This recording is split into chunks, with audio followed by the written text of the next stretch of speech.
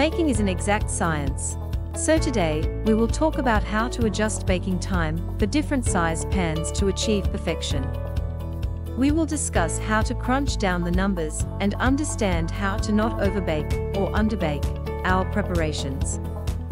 The truth is some recipes are made thinking about a specific pan size and shape and maybe we do not have the exact one at home. It can be frustrating, but we can definitely work around it.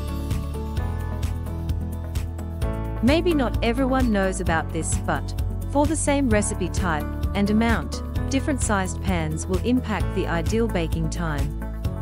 This happens because, depending on the size and shape of the pan, there will be more or less surface directly in contact with the heat of the oven. Also, if it is a deeper pan, for example, more mixture will be kept in the center, away from the sides. This will make it harder for it to reach the desired temperature and actually bake. Knowing how to adjust our baking time will help us when it comes to not burning a preparation.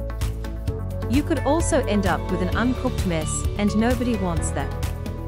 It is very useful to know how to adapt recipes we read online or in a cookbook to the materials we have on hand. Maybe you think that this is a very difficult thing to do, and it is simpler to just buy the adequate pan. I promise you this is not the case. What we need to know first is if we are increasing or decreasing the area at the bottom of the pan. If the surface at the bottom of the pan is the same, then you do not need to adjust anything. Isn't that great news? Start by calculating the bottom surface area of the required pan and compare it with one of the pans you are planning on using. The way to do this is as follows.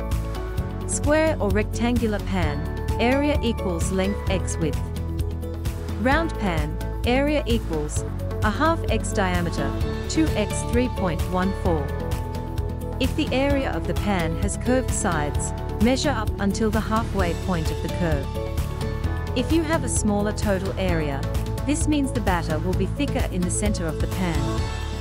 Try turning the temperature down and increasing the total baking time. If you have a larger total area, your batter will be thinner and more spread out. Turn the temperature up and the total baking time down.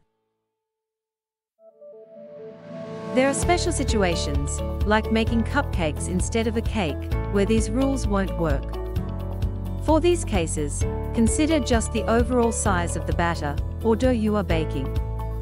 Do not adjust baking temperature or time. This does not mean you can place everything in the oven and forget about it. On the contrary, if you are going smaller, start checking if the batter is done at the halfway point, and do so every 5 or 10 minutes to avoid burning everything. If you are going larger, it will probably take longer to bake completely. If you like this video don't forget to like and subscribe.